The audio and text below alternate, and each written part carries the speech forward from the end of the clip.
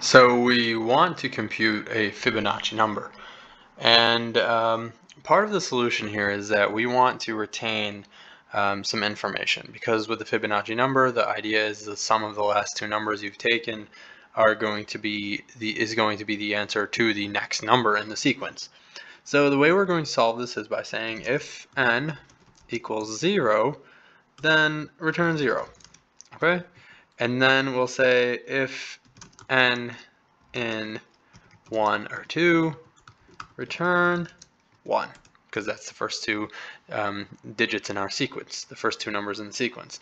But then what happens when the number is a lot, the, the, the, the number in the Fibonacci is a lot, sequence is a lot bigger, right? The idea is that we retain the last two. How that looks is like this. So we start with 1 and 1 because we have um, 0 and 1, and 1 and 0 is 1 1. And so we have to find a way to ultimately use that, that storage to take the sum of the last two and then replace the last two uh, with the new information that we've we've gathered. So let's do this recursively.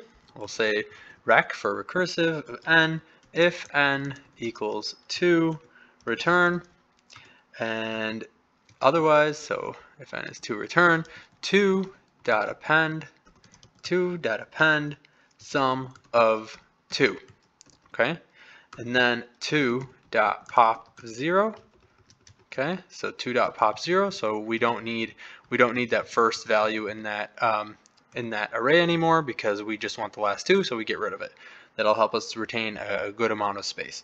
So then we say rec of n minus 1 right? Rec of n minus 1, because we want to count down from the number that we're, that we're computing.